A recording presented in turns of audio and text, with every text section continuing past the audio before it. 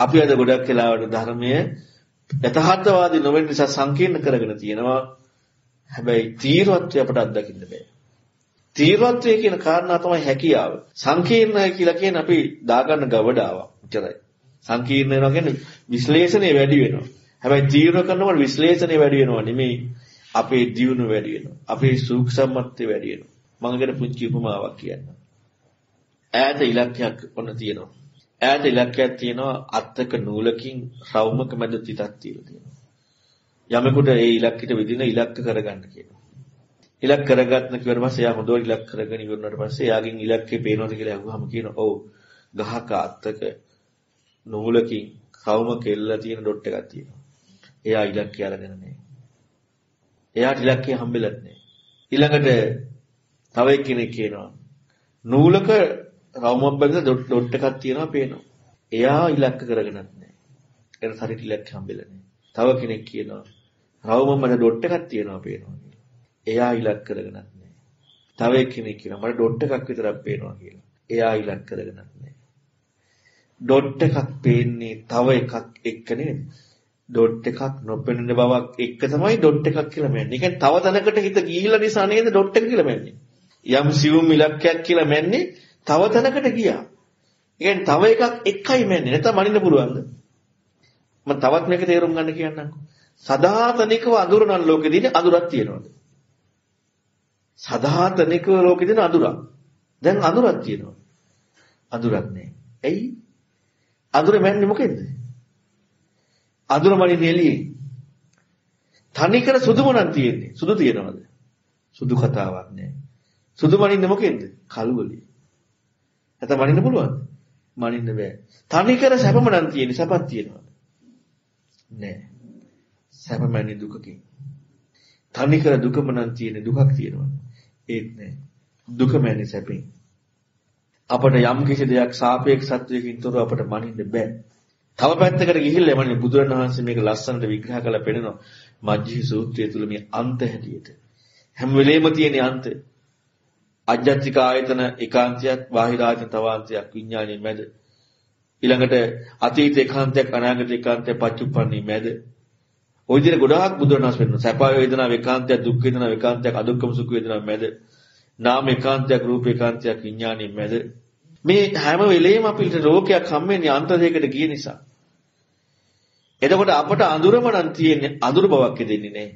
අඳුරක් බව අපට ලැබුණා නම් එළියක එළියක නිමිත්තක් නිසායි මේක අඳුරයි කියලා කියන්නේ. ඒ වගේම ඒ ඒ කරුණ එක හිතලා බලන්න.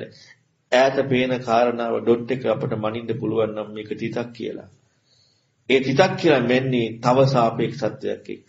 නැත්තම් මනින්න බෑ. එයාගෙත් ඉලක්කය හරියට නෑ. එහෙනම් තීරවත්වයේ ගන්න කොච්චර හැකියාවක් ඕනද? තීරවත්වයේ ගන්න සූක්ෂමත්වයට යන්න හැකි ඇතුලේ හැකියාවයි අවශ්‍ය. එහෙම නැතුව බාහිර විශ්ලේෂණය ගොඩක් කෙන එක නෙමෙයි. ඇතුලේ හැකියාව දියුණු වෙනවා නම් එයා විශාල ඉලක්කයක් කරා යාට යන්න පුළුවන්කමක් තියෙනවා. සැබෑම යථාර්ථවාදී බවට ගියා නම් ඒක තව එකකින් මනින්න බෑ. මනින්න බැයි නම් ඒකට විග්‍රහයක් නැහැ. ඒකට විග්‍රහයක් නැත්තම් යථාර්ථවාදී බව සිදුවීම ඊතර වීමයි. බුදුරන් වහන්සේගේ ධර්මයේ සත්‍යඨාන සූත්‍රයේ විග්‍රහ කරන යථාර්ථවාදී සිදුවීමේදී රහතන් වහන්සේට කියන වචනයක් තුන කේවලී කියලා තනි බව හුදකලත්වය. කේවලී කියලා කියන්නේ තව එකක් එක මනින් නැති බව. තව එකක් එක මනින් නැත්තම් යමක් ඒ කරුණ විග්‍රහ වෙන්නේ කොහොමද? තව එකක් එක්ක මනින් නැත්තම් ඒ කරුණ විග්‍රහ වෙන්නේ නැහැ යථාර්ථවාදී ස්වභාවය තතහා භූත භාවය තහා භූත භාවය ඊතර වෙමු විතරයි. බුදුරණවහන්සේ ලෝකෙට අලුත් ධර්මයක් නැවුවේ නෑ. අතහාගතයන් වහන්සේ මේ ලෝකෙ ඉපදුනත් නැතත් තථාර්ථවාදී ධර්මයක් තියෙනවා. ධම්ම ත්‍රිචිතා ධම්ම නියාමතා ඉදප්පච්චේතා. ඒක යථාර්ථවාදී ධර්ම. ඒ යථාර්ථවාදී ධර්ම යථාර්ථවාදීන තැනදී සිදුවන කාරණාව තමයි ඊතර වීම. අපි මොකද්ද කරන්නේ? ලෝකයක් තියෙනවා කියලා අරගෙන බලින් මේ ලෝකේ වදයක් කියලා හිතාගෙන මේ ලෝකෙන් පලා යන්න හොයනවා. ඒ ලෝකෙන් පලා යන්න අපි විවිධ විදියට ක්‍රම හොයනවා. විවිධ විදිහට දේවල් කරනවා. විවිධ විදිහට වැඩ පිළිවෙල කරනවා. හැබැයි ඒ සියලුම දේවල් පින්වතුනි අපි අතික්‍රමණය කර අතිදාවණයක් කරන්නේ. සංයුතනිකයි පළවෙනි සූත්‍රයේ තියෙනවා. මේ ඕගය ඕගය කියන කාරණාව තරණය කරනකොට පිහිටීමකුත් නැතුව ඉල්පීමකුත් නැතුවයි කරන්නේ. පිහිටන්නේ නැතුව වෑයම් කරන්නේ නැතුව තමයි කරන්නේ. දිව්‍ය ලස්සන ගාතාවක්. චිරස්සංගත පස්සාම බ්‍රාහ්මණං පරිනිබ්බුතං අපතිත්තං අනායුවන් තින්නල් ලෝකේ විසත්තික. අපතිත්තං අනායුහං පිහිටන්නේ නැතුව වෑයම් කරන්නේ නැතුව තමයි එකතර ඊතර උනේ. අපි හැම වෙලේම මොකද්ද අපේ ලෝකයේ ස්වභාවය? එක්ක එකක läග්ගෙන ඉන්නව නැත්නම් ඒක අයින් කරන්න හොයනවා.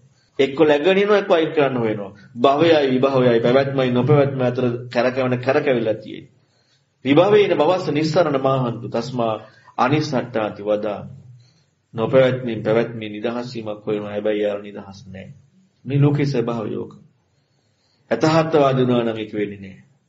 එහෙනම් හොඳට තේරුම් ගන්න. අපි මේ ලෝකේ යථාර්ථවාදී වුණා නම් එතනදී සිදුවන්නේ ඊතර වීම විනා වෙන දෙයක් නෙවෙයි. යථාර්ථවාදී වෙන්න බැරි නිසා අපි තවක් තව දෙයක් එක්ක සාපේක්ෂත්වයෙන් මැන මැන මැන මැන ඉන්න කාරණාවක් තියෙනවා.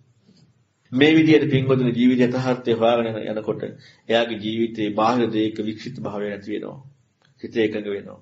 සිත එකඟ වෙනවා කියලා කියන්නේ සිත එකඟ කරගන්නවා කියලා අරමුණක් එක්ක läගගෙන ඉන්නවා කියන එක නෙමෙයි. සත්‍යවාදී වෙන තැනදී බාහිර මැනීමක කෘත්‍යයක් කෙරෙන්නේ නැත්නම් චිත්ත තියෙන සිත තියෙන මොකද්ද එකක එකක වාවේ.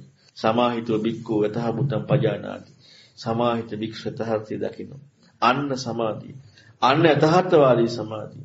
එතකොට යථාර්ථය දකින්න. නැත්නම් පින්වතුනි අපි මේ ලෝකේ කල්පිත හදාගෙන මනක් කල්පිත දේවල් දාලා ඒ වගේම යම් කිසි උපකල්පන දාලා ඒ කල්පිත උපකල්පන මනක් කල්පිත දේ මත පදනම් වෙලා තමයි අපි යම් දේවල් කරන්නේ. එතන සත්‍යවාදී බවක් නැහැ.